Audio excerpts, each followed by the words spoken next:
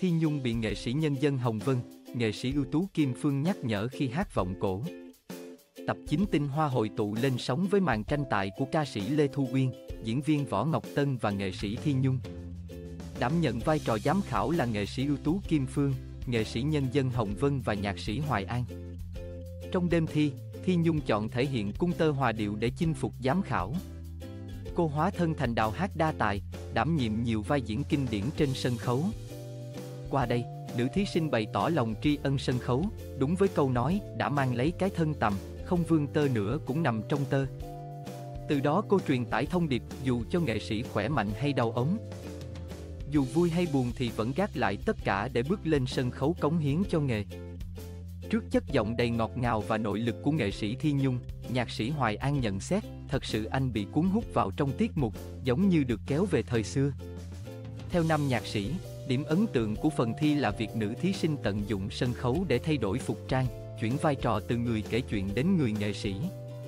Anh rất thích cách em đem những vai diễn như vậy lên sân khấu và lồng trong một tiết mục. Thật sự anh bị cuốn hút vào vở diễn, nam giám khảo chia sẻ.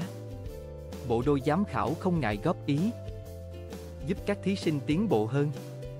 Riêng nghệ sĩ nhân dân Hồng Vân khuyên nghệ sĩ Thi Nhung thay vì ca vọng cổ thì chỉ cần hát bài ca tri ân tổ nghề sân khấu thì đã đủ thuyết phục và làm bật lên được sự đa tài của nữ nghệ sĩ.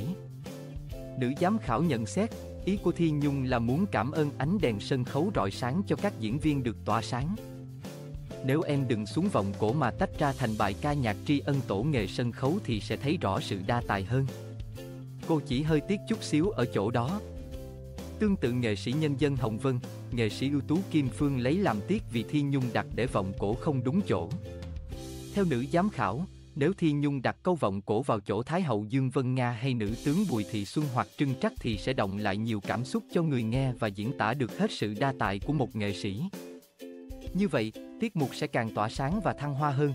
Bà góp ý với nhạc cảnh cung tơ hòa điệu, Thi Nhung nhận được điểm 10 từ nghệ sĩ nhân dân Hồng Vân và 9,75 điểm từ nhạc sĩ Hoài An. Riêng điểm số của nghệ sĩ ưu tú Kim Phương được dự kiến đến cuối vòng thi để tăng sự kịch tính và hấp dẫn cho chương trình.